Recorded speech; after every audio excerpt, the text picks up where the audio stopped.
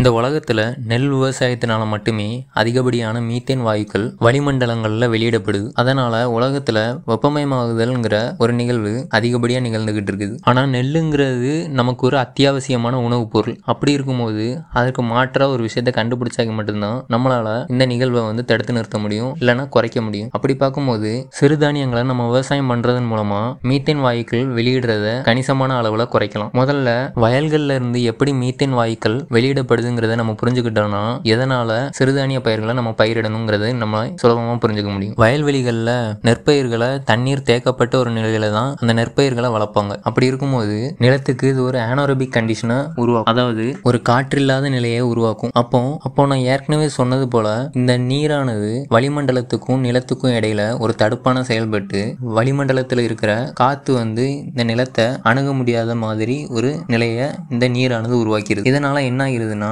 அந்த நிலத்துல ஒரு காற்றில்லாத நிலை ஏற்படுது. அந்த நேரத்துல மெத்தனோஜின்ஸ் அப்படிங்கிற ஒரு வகையான பாக்டீரியா அதிகப்படியான மீத்தேனை சுரக்க தொடங்கிடுது இந்த மெத்தனோஜின்ஸ் பாக்டீரியாக்கள் பொதுவாகவே ஆக்சிஜன் இல்லாத பகுதிகளில் தான் நல்லா உயிர் வாழும். அப்படி இருக்கும்போது இந்த இடத்துல ஆக்சிஜன் தட்டுப்பாடு ஏற்படுறதுனால இந்த பாக்டீரியாக்கள் ரொம்பவே அதிகப்படியாக வளருது. இதனால மண்ணில் இருக்கிற கழிவுகளை மக்க செய்து அதன் மூலமாக அதிகப்படியான மீத்தேன் வாயுக்களை வெளியிடும். நெற்பயிர்கள் எல்லாம் அறுவடைக்கு தயாராகும் போது நிலத்தில் நீரானது வறண்டு போயிடும் அந்த நேரத்தில் இந்த மீத்தேன் வாயுக்கள் எல்லாமே வளிமண்டலத்துக்கு ஓடி போயிடும் இதன் மூலமாக புவி வெப்பமயமாகுதல்ங்கிற ஒரு நிகழ்வு அதிகப்படியாக நிகழ தொடங்கிடும் அதே நேரத்தில் இந்த சிறுதானியங்களை வளர்க்குறதுக்கு அதிகப்படியான நீர் தேவையில்லை அதிகப்படியான உரம் தேவையில்லை. ஏன் சொல்லப்போனால் சிறுதானியங்களுக்கு ரொம்ப வறட்சியான சூழ்நிலை தான் ரொம்பவே பிடிச்சமான ஒரு சூழ்நிலைன்னு சொல்கிறாங்க அது மட்டும் இல்லாமல் இந்த சிறுதானியங்களில் அதிகப்படியான ஊட்டச்சத்துக்கள் நிரம்பி இருக்குது. இரும்பு சத்து விட்டமின்கள் இது போல சொல்லிக்கிட்டே போகலாம். நிறைய விஷயங்கள் இந்த சிறுதானியங்கள்ல இருக்குது. நமக்கு தெரிஞ்ச கொஞ்சம் சிறுதானியங்கள் தான் இருக்குது. அதுல குறிப்பிடத்தக்கதா குதிரைவாளி கேழ்வரகு கம்பு தேனை சாமை பனிவரகு. ஆனா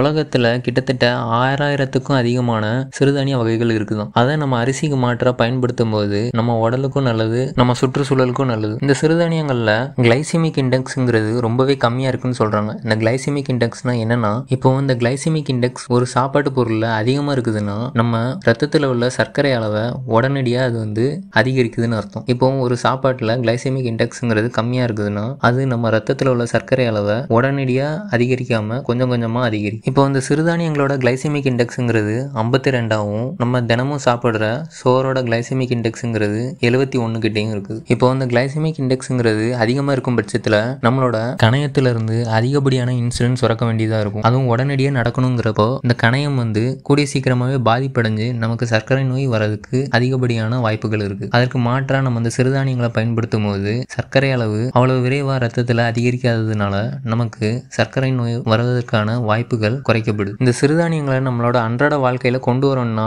நம்ம முதல்ல இந்த சிறுதானியங்களை கடைகளில் வாங்க தொடங்கணும். எப்போ வாங்க தொடங்குறோமோ அப்பந்தான் இந்த சிறுதானியங்களுக்கு ஒரு தேவை ஏற்படும். தேவை ஏற்படும் போது தான் விவசாயிகள் இதை பயிரிட தொடங்குவாங்க. இப்படி தான் மாற்றத்தை கொஞ்சம் கொஞ்சமாக உருவாக்க முடியுமே தவிர உடனடியாக இதை நடைபெற வைக்க முடியும் முடியாது. இந்த காணொலி பிடிச்சிருந்தா லைக் பண்ணுங்க. நாலு பேர்கிட்ட ஷேர் பண்ணுங்க. இதன் மூலமா இந்த விஷயம் நிறைய பேருக்கு போய் சேரும்.